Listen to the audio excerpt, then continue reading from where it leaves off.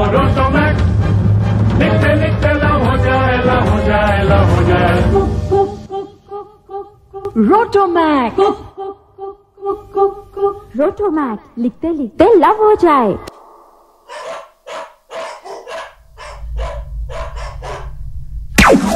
Show current പോയി cinema തുടങ്ങിയതേ ഉള്ളു അപ്പോഴത്തേക്കും അമരുടെ ഒരു കരണ്ട് കളച്ചില് കഴിഞ്ഞ ഞായറാഴ്ച പോകാനല്ലായിരുന്നു അത് പകുതിയെങ്കിലും കണ്ടെന്ന് പറയാം. പക്ഷെ ഇതോ സിനിമ തുടങ്ങിയല്ലോ അപ്പഴത്തേക്കും പോയില്ലേ?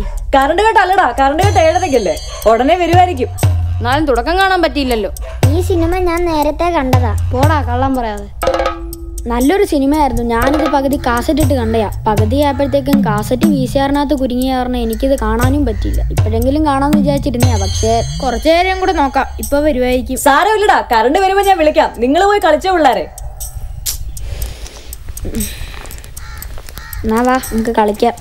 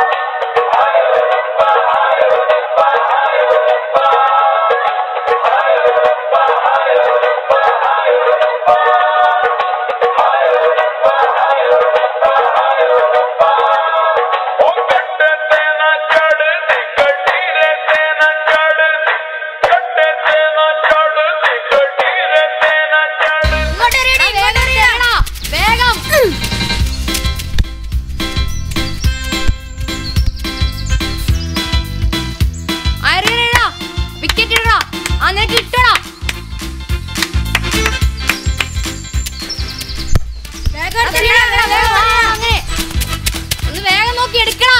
ഇവൻ എവിടെ നോക്കുന്നത് വേഗം എടുക്കടാ. എടാ ഒന്ന് പെട്ടെന്ന് നോക്കി എടുക്ക്. എടാ ശരിക്കും നോക്കടാ. അങ്ങോട്ടല്ലടാ അവിടെ. ഇതുവരെ കിട്ടിയില്ലയോടാ ഒന്ന് വേഗം നോക്കി എടുക്കടാ. കിട്ടിയോടാ. ആ കിട്ടി. ആ. ബാറ്റിങ്ങും തരുന്നില്ല ബോളിങ്ങും തരുന്നില്ല. എടുക്കടാ എടുക്കടാ. ആ വേഗം എടുക്കടാ. ഇനി ഞാൻ ബോൾ എടുക്കില്ല.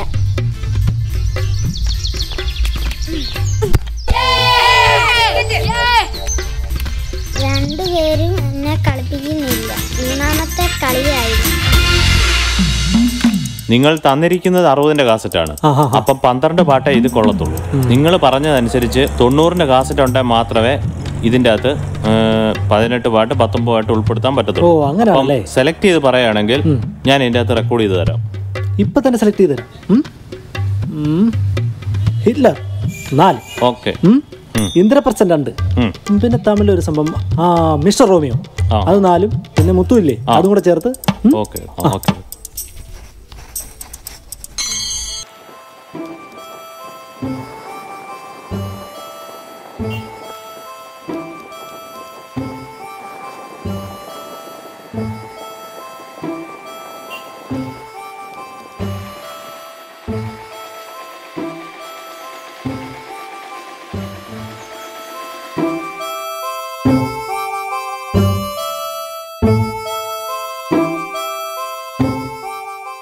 ആ ഇതാരാ ആൻസിയോ? കണ്ടിട്ട് കുറച്ചാളായല്ലോ അത് റീച്ചേട്ടാ എക്സാം ആയിരുന്നു അതാ കാസറ്റ് താമസിച്ചേ. കാസന്റെ കാര്യമല്ലെന്നേ ഉദ്ദേശിച്ചേ. കാസറ്റ് താമസിക്കൊന്നും പ്രശ്നമല്ലെന്നേ. ആൻസിയല്ലേ കൊണ്ടുപോയത്? ഞാൻ പറഞ്ഞ ആൻസിയെ കണ്ടില്ലെന്നാ. കാസറ്റ് എടുക്കാൻ അല്ലെങ്കിൽ ആൻസി ഇടയ്ക്കിടയ്ക്കൊക്കെ വരണം കേട്ടോ. പുതിയ പാട്ടുകളൊക്കെ എത്തിയിട്ടുണ്ട്. വേറെ ഏതാ എടുക്കുന്നേ? മാന്ത്രിക ഉണ്ടോ ശു മാന്ത്രികം പോയിരിക്കുവാണല്ലോ. അയ്യോ. ആൻസി നേരത്തെ പറഞ്ഞിരുന്നെങ്കിൽ ഞാൻ മാറ്റി വെച്ചനമായിരുന്നു നമ്പർ വൺ സ്നേഹതീരം ഉണ്ടോ നമ്പർ വൺ സ്നേഹതീരം. ആ നമ്പർ വൺ സ്നേഹതീരം ഉണ്ട് തരാം. ദേ ഇതൊന്നും ഇറങ്ങാത്ത കാസറ്റാ. ആൻസിക്ക് ആയതുകൊണ്ടാ ഞാൻ തരുന്നത് ആരും അറിയരുത് കേട്ടോ. ഇല്ല ഇല്ല. ആൻസി ഈയിടെയായിട്ട് അങ്ങ് ക്ഷീണിച്ചുവല്ലോ. എന്തു പറ്റി? എക്സാം ഒക്കെ ഇല്ലേ? അതുകൊണ്ടായിരിക്കും. ഒത്തിരി ക്ഷീണിച്ചോ? ഓ ആൻസിക്ക് ഇതാ സൗന്ദര്യം. കുഴപ്പമൊന്നുമില്ല. എന്നാ ചേട്ടാ ഞാൻ പോട്ടെ. ഓ ആൻസി നിൽക്കുന്നേ വല്ലപ്പോഴും ഒക്കെ അല്ലേ ഇങ്ങോട്ടൊക്കെ വരുന്നേ? ഇച്ചിരി കഴിഞ്ഞ് പോവാന്നേ. എന്നാ ഞാൻ പോട്ടെ പിന്നെ വരാം. എടാ ഈ കാസറ്റ് കൊണ്ടുപോയിട്ട് എത്ര ദിവസമായി? അത് പിന്നെ റേച്ചേട്ടാ ആ കാസറ്റ് വി സി ആറിലായി പോയി. കഴിഞ്ഞ രണ്ട് ദിവസമായി ഞങ്ങളുടെ അവിടെ കറണ്ടും ഇല്ലായിരുന്നു. ഇത് നിന്റെ സ്ഥിര ഏർപ്പാടാ. നാട്ടുകാരെ മൊത്തം കാണിച്ചിട്ട് ലാസ്റ്റിൽ കൊണ്ടുവന്നേക്കും ഇല്ല ചേട്ടാ സത്യമായിട്ട് ഞങ്ങളുടെ കറണ്ട് ഇല്ലായിരുന്നു.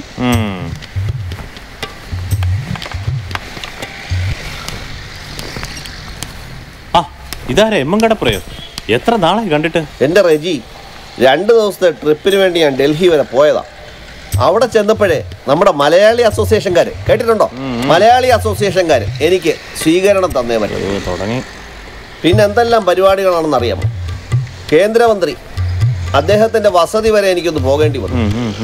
ഒരു ദിവസം രാവിലെ ഞാൻ നോക്കിയപ്പോൾ ഹലോ കേന്ദ്രമന്ത്രിയുടെ പ്രൈവറ്റ് സെക്രട്ടറി ഞാൻ താമസിക്കുന്ന ഹോട്ടലിന്റെ ഫ്രണ്ടിൽ വന്ന് നിൽക്കുക എന്തിനാണെന്ന് അറിയാമോ? അദ്ദേഹം പറഞ്ഞു വിട്ടതാ. പിന്നെ അത് കഴിഞ്ഞ് വി ഐ പിമാര് വി വി ഐ പിമാര് മറ്റേവര് മറിച്ചവര് ഹലോ ഡേ പറയുന്ന കേക്കടേ. മറ്റേവര് മറിച്ചവര് ഇവരുടെ എല്ലാം കൂടെ സ്വീകരണം കഴിഞ്ഞപ്പോഴത്തേന് മാസം രണ്ട് കഴിഞ്ഞു പോയി. ആ അപ്പൊ അങ്ങനെയൊക്കെയാണ് കാര്യങ്ങൾ ഡേ ഞാൻ കവി മാത്രമല്ലല്ലോ. ഞാൻ സാമൂഹ്യ പ്രതിബദ്ധതയുള്ള ഒരു കലാകാരനും കൂടിയല്ലേ. എനിക്ക് ആരെങ്കിലും പിണക്കാൻ പറ്റുമോ എന്റെ റേജി? ഹലോ ഇന്നത്തെ കളക്ഷൻ ഉണ്ടെങ്കിൽ ഒരു ട്വന്റി റുപ്പീസ് നാളെ തിരിച്ചു തരാം. ചേട്ടാ ഇന്ന് കളക്ഷൻ കുറവാ. എന്റെ റെജി ഒരു ടെൻ റുപ്പീസ് അങ്ങനെ തരും. Ten rupees. താങ്കൾ ഡൽഹി പോയിട്ട് വി വി ഐ പികൾ ആരൊന്നും തന്നില്ലേ? എന്റെ റെജി ഒരു ഫൈവ് റുപ്പീസ് അഞ്ച് രൂപ. നാളെ തിരിച്ചു തരാം അത്യാവശ്യമായതുകൊണ്ട്. ഇന്ന് അഞ്ച് രൂപ തരാം. ഇപ്പൊ കുറെ ആയിട്ടുണ്ടേ. ഓരോരുത്തന്മാർ വലിഞ്ഞു കയറി വരും മനുഷ്യനെ മെനക്കെടുത്ത് യാ, നീ ഇതുവരെ നോക്കി കഴിഞ്ഞില്ലേ? നോക്കുമായിരുന്നു ഏതാ വേണ്ടേന്ന്? ചേട്ടാ ആരെങ്കിലും ഉണ്ടോ ആഹാ നീ രംഗീലൊക്കെ കാണാറായോ? അടിപൊളി പാട്ടൊക്കെ ഉണ്ടല്ലോ ഒന്ന് കാണാന്ന് വെച്ച്. ദേ രംഗീല കണ്ടിട്ട് നാളെ തന്നെ കൊണ്ടുവരണം. ഇല്ലെങ്കിൽ ഓരോ ദിവസത്തെ വാടക ഞാൻ മേടിക്കും. കേട്ടോ? ആ ആ.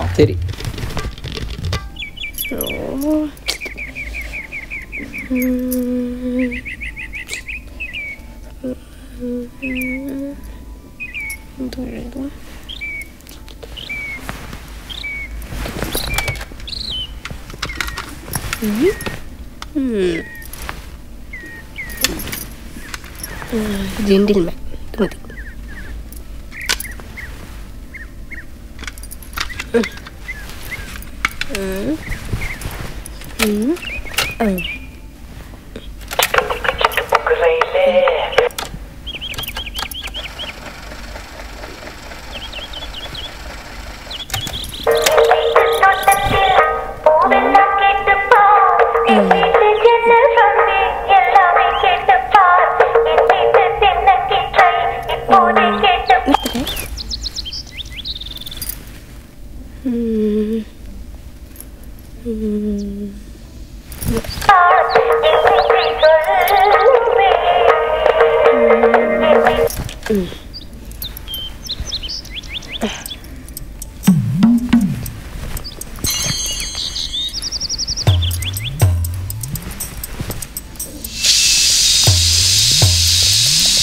ധന്യേ നീ പാട്ടും കേട്ടോണ്ടിരിക്കുവാണോ? ട്യൂഷന് പോവണ്ടേ? എടി നിന്നോടാ ചോദിച്ചത് ട്യൂഷന് പോകുന്നില്ലേന്ന്. അമ്മ ഞാൻ ഇവിടെ കവിത എഴുതിക്കൊണ്ടിരിക്കുക ട്യൂഷന് കൊണ്ടുപോകാനുള്ള അപ്പോഴാ. എടി സാറ് വരുമ്പോ മാനേജർ നേരത്തെ വിടാൻ പറയണേ. എന്താ? അല്ല ഞങ്ങളുടെ അടുത്ത ക്ലബിൽ എനിക്കൊരു ചെറിയ സ്വീകരണം. മറ്റേ ജില്ലാ കലോത്സവത്തിന് ഫസ്റ്റ് കിട്ടില്ലായിരുന്നോ അതിന്റെ? അല്ല സെക്കൻഡ് അല്ലായിരുന്നോ എടി ആ ജഡ്ജസ്മാരെ മനഃപൂർവം മറ്റേ പെണ്ണിന് കൊടുത്താ. എന്റെ ഭരതനാട്യം കണ്ടു അറിയാം എനിക്ക് അവസ്ഥ കിട്ടേണ്ടത് അത് ഞങ്ങളുടെ ക്ലബിലെ ചേട്ടന്മാർക്ക് അറിയാം കേട്ടോ? അറിയാം അറിയാം. എടി ഞാൻ ആറ് വർഷമായിട്ട് ഭരതനാട്യം പഠിക്കുക എന്നെ പഠിപ്പിച്ച മാഷിന് വരെ അറിയാം എനിക്ക് അവസ്ഥ കിട്ടണേന്ന് പിന്നെ ഞങ്ങൾ അപ്പീലിനൊക്കെ പോകാനിരുന്നയാ ഓ വേണ്ടെന്ന് വിചാരിച്ചു. അന്ന് അപ്പീലിന് പോകാഞ്ഞേ? ഓ അല്ല നിനക്ക് ഭരതനാട്യത്തിനെ കുറിച്ച് എന്തറിയാം? പൈസ കൊടുത്താൽ ഫസ്റ്റ് കിട്ടുമെന്നറിയാം. ആ അല്ലെങ്കിലും നിന്നെ ഒന്നും പറഞ്ഞിട്ട് വലിയ കാര്യമൊന്നുമില്ല. ശരി ശരി.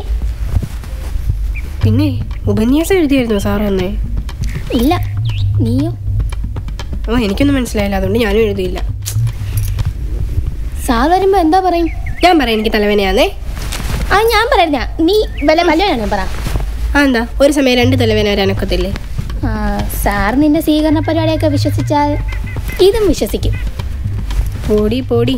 ഒരു കലാകാരിയെ ബഹുമാനിക്കാൻ പഠിക്കുക കേട്ടോ.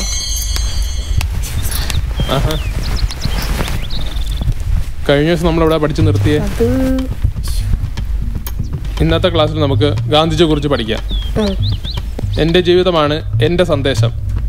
എന്ന മഹത്തായ ദർശനം നമുക്ക് കാണിച്ചു തന്ന ഒരു മഹാനായ വ്യക്തിയാണ് ഗാന്ധിജി.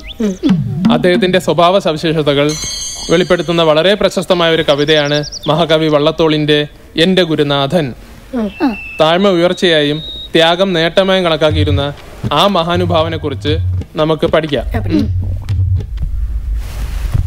ആ ഇന്നലെ ഒരു കവിത എഴുതി കൊണ്ടുവരാൻ പറഞ്ഞില്ലായിരുന്നു രണ്ടുപേരോടും? എഴുതിയോ? അത് ട്യൂഷൻ സാറേ ഞാൻ എഴുതിയിരുന്നു പക്ഷേ എടുക്കാൻ മറന്നുപോയി. ആ അപ്പൊ ധനിയോ? സാറേ ഞാൻ എഴുതി പക്ഷെ ശരിയാണോ അല്ലയോ എന്നൊന്നും എനിക്കറിയത്തില്ല. ആ നോക്കട്ടെ എടുത്തേ.